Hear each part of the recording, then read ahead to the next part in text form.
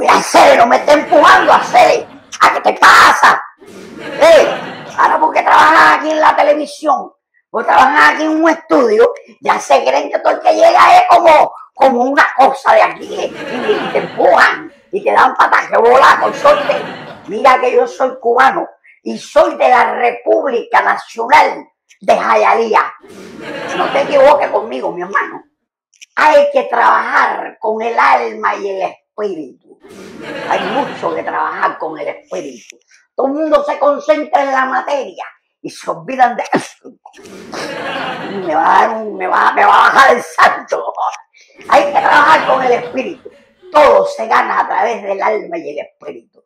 Pero todo el mundo se concentra en las cosas físicas es que el carro bueno, que la casa buena, que mucho billete, y se olvidan que todo se trata de un mundo espiritual que hay dentro de nosotros. He dicho.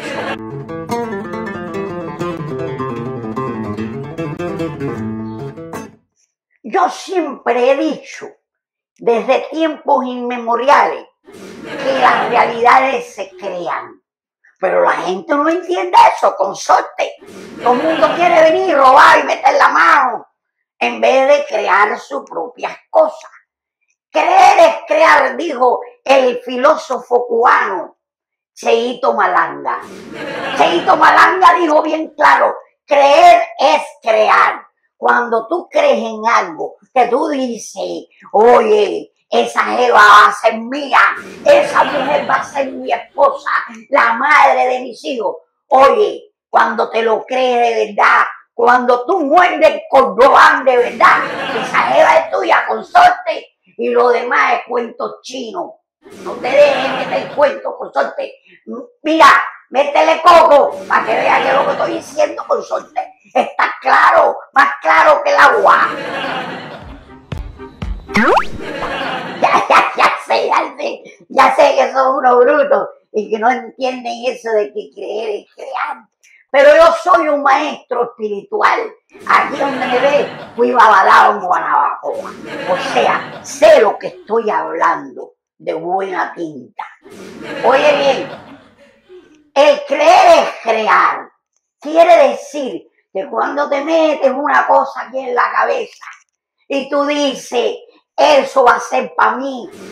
Oye, tú terminas consiguiéndolo con suerte. Yo sé lo que te estoy diciendo, hacer Fíjate, fíjate que hay un tipo ahí, no sé si se llama Mandino, no sé qué, que hizo un libro, que él entrevistó a una tonga de famosos, a una tonga de deportistas famosos, a una tonga de artistas famosos, incluso gente de la ciencia, médico, eh, cirujano.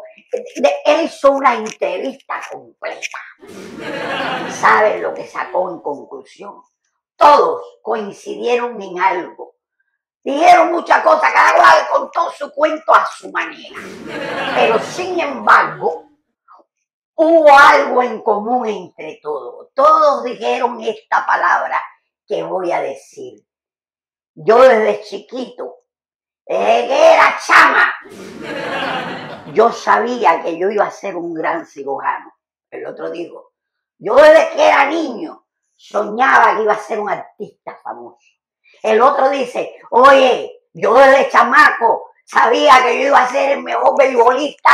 Es que lo que tú sueñas lo que tú maquinas en tu coco y le este secreto, mira, tira el libro ese y oye estas palabras sabias de Cheo, que Cheo no se equivoca. Lo que tú tengas en tu coco y tú no vaciles de verdad, que tú digas, oye, esto es lo que va a pasar desde chama, o no importa que lo empieces ahora mismo. Usted empieza a lucurar en su mente algo que usted quiere y en un par de años usted verá el cambio y se va a acordar de mí y me va a buscar, pero en ese momento ya yo no voy a estar aquí porque voy a estar viviendo en Hawái, porque ya no. Porque es que esto lo aprendí con la edad, con Eso debía haberlo aprendido yo cuando era chama, yo hubiera sido millonario toda mi vida, pero nada, pasé un hambre en carajo. entonces tú me ves aquí ahora comiendo mierda, dándole la información a ustedes. Cuando viene a ver ustedes se hacen rico, primero voy yo Bobby Entonces, como decía antes, al tú saber que estás creado por el grande, con las mismas cualidades que tiene él, él es creador, él es un soñador, es un ilusionista, un mago. Existe la magia, aunque la gente diga que no. Lo que pasa es que hubo un grupo de cabos, de descarados, que jodieron el asunto de la magia porque empezaron a hacerle daño a otro. Y entonces al hacerle daño a otro, nadie quiere saber de la magia. Porque todo el mundo piensa que la magia es negra como quiera que la ponga. Y no es así. No es así.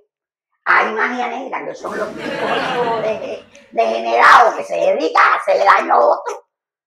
Pero el que usa la magia blanca, la magia de Dios, esa magia que te dio, porque crear es una magia. Si sueña de que mañana tú vas a hacer un avión, tú vas a fabricar un avión diferente. Mira, mira Elon Musk, ahora está inventando caravanas que valían hace dos días, valían medio millón de dólares, un millón de, una casa caravana, un, un RB, un, una guagua que es casa a la vez. Y eso estaba por el cielo, millón, millón y medio, dos millones. Así valían esas, esas carrozas, esas, esas RB, como le dicen allí en la Yuma. Entonces ahora Elon Musk, el, el loco ese, pero que un loco creador que sí ha usado la magia de Dios, porque la magia de Dios es así. Y el tipo ahora está inventando unas caravanas que la van a vender a 23 mil dólares, pero que son, que esa de las que estamos hablando que valía un millón, no se pueden parar al lado de esta, porque estas son inteligentes. O sea, cuando tú entras en ella, no tienes que encender el aire acondicionado, tan pronto siente el calor de tu cuerpo, ella pone una temperatura en la que tú te vas a sentir bien. Ni siquiera muy frío, ni siquiera muy caliente. Te vas a sentir de maravilla. Eso lo está inventando, ¿eh? 23 mil dólares la más grande, ¿eh? La que, la que valía 2 millones. Ahora hay más chiquitas que van a salir más económicas. Incluso está inventando unas casas. Oiga eso, unas casas que van a costar 4.999 dólares y te la pueden armar en un día. Una más llega y dice quiero una casa azul con esto, con lo otro, con lo otro, y te la arman en el lugar donde vas a vivir en un día pagas 4.999 dólares y tienes tu casa propia. Oiga, eso se llama crear. El tipo está creando un mundo que los demás no lo conocían porque el tipo cree en la magia.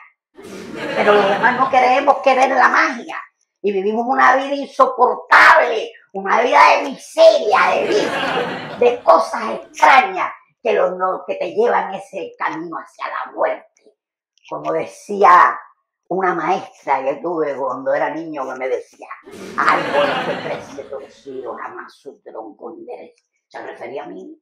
Decía que yo no me iba a enderezar de ninguna manera. Hoy, soy un filósofo que habla en la televisión y todo. O sea, que prospera. Fue siguiendo la conversación de Elon Musk. Y el otro día inventó un cohete. eso sí fue, eso sí fue una hermosura. El cohete salió, que era una prueba nada más, no lo iban a mandar al espacio. Salió como que ya se iba para el espacio. Pero de pronto paró allá y vino para atrás. Y se acomodó de donde mismo salió. Ese hombre es un loco, pero un loco que usa la magia para el bien de la humanidad. Si hizo eso, mañana coger una guagua para ir a Marte va a ser como coger una guagua para ir a los barrios, que sí. Es llegar allí nada más, montarte en el, en el, la cosa que va a tener él, el cohete o el satélite, claro. Y entonces, en un par de días estás allá en Marte, vaciado allí en una esquina allí en Marte, con tremendas marcianas, porque las marcianas son como de siete pies, son tremendas porque eh, Dios Dios es, un hombre que crea con vanidad. Fíjate que tú te paras en un campo de Colombia donde, donde cultivan las flores. Ustedes no han ido, pero vayan. Y tú te paras en un campo de eso de Colombia, donde cultivan las flores, y ves por allá un campito rojo, flores rojas. Ven un campito blanco por allá, flores blancas. Ven otro campito por allá amarillo, flores amarillas. Ya un campito por acá violeta, flores violetas. Y así hay de todos los colores, roja, verde, amarilla, de todos los colores. Porque Dios trabaja en variedad. Él no hace las cosas iguales. Aquí nos puso a nosotros, dos chiquiticos, pues enanos, casi todos. Sin embargo, en Marte la mujer más chiquita tiene siete pies ocho. Estamos hablando de que creó bestias aquí y allá. Hizo variedad. Y Lomo está haciendo lo que su padre le enseñó, crear. Crea cosas buenas para tu vida y deja la bobería hacer. Deja la bobería que justifiques más. Lo que pasa es que eres un vago que quiere tener siempre los huevos arriba del sillón acostado viendo la televisión. Por eso te muévete.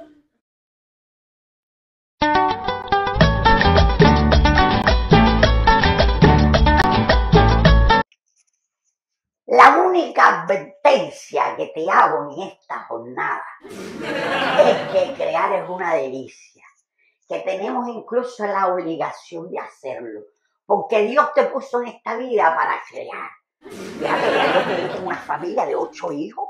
Oye, eso es crear. O sea, le voy a dejar ocho personas inteligentes como su padre y así capaces como su padre para que hagan una vida mejor, un mundo mejor. Pues sí, ya tengo déjenme hablar de eso, porque después van a decir que estoy temblando y eso, y a mí no me gusta que me digan que estoy viejo. Yo no estoy viejo, yo nada más estoy en un proceso de desgastación del cuerpo, nada más, pero mi alma sigue intacta y la de todos sigue intacta, apréndete eso. Pero lo que te iba a decir, la última advertencia, hay una línea recta donde aquí está el mal y donde aquí está el bien. Si tu creación la diriges al mal, tu vida termina en el infierno. Eso es, porque a mí no me gusta hablar que con tapujos, que mira, porque te va a ir mal. ¡No! Si te vas para la derecha, os digo para la izquierda, que la izquierda es el mal. La izquierda es el mal, el comunismo. Entonces, usted sabe, esto es cosa que está aquí. Si diriges tu creación para la izquierda, tú vas a terminar en el infierno. Pero si diriges tu creación hacia la derecha, fíjate que la mayoría de los seres humanos somos derechos, porque la derecha es la que es. Entonces, si tú vas y diriges tu, tu vida, tus cosas, tus problemas, todo problema que tú tengas en este momento, voy a decir como decía el clavelito, pon tu pensamiento en mí y verás que en este momento mi fuerza de pensamiento se ejerce sobre ti. Clavelito, el hombre distinto, el hombre de la naturaleza, le habla a su pueblo. Y a él le decía, siempre para la derecha, nunca para la izquierda. Si te tiras para la izquierda, te pasa como camada la mala. Así que mejor tírate para la derecha, para que te pase igual que te Así que, buenas tardes y me voy, ya, me voy. Ustedes, oye, con 10 pesos que me van a dar aquí, mira toda la, la muela que tengo que dar. ¡Aló!